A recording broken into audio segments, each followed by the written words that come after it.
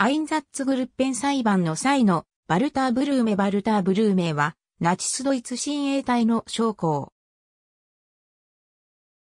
最終階級は親衛隊大佐。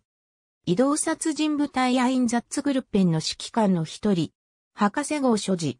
ドルトムント出身。ボン大学、イエーナ大学、ミュンスター大学で法学を学び、1932年に裁判官補佐官試験に合格。ドルトムントの裁判官補佐官となった。1933年に博士号を受ける。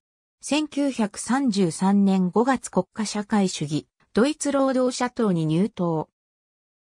はじめ突撃隊隊員だったが、1935年には親衛隊に移籍した。ブルーメは突撃隊員の頃から親衛隊情報部に勤務しており、ベルリンハレハノーファーなどに勤めた。1941年3月に国家保安本部の愛局英部部長に就任する。独ソ戦開戦後の1941年7月にアインザッツグルッペン A 霊下のアインザッツコマンド 7A の隊長となる。アインザッツグルッペン B はベラルーシやロシアなどで2万4千人の殺害を行った。1941年9月にはベルリンへ帰還し、国家保安本部の英部部長の仕事に戻った。1942年6月からパルチザン狩りの部隊、バンデンベコンプフンの指揮官となる。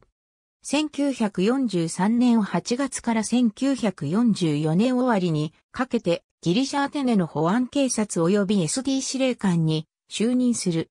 その後はベルリンへ戻った。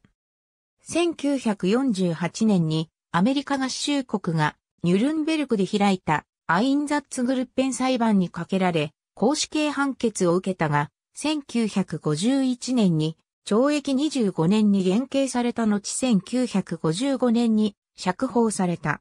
1974年に死去。ありがとうございます。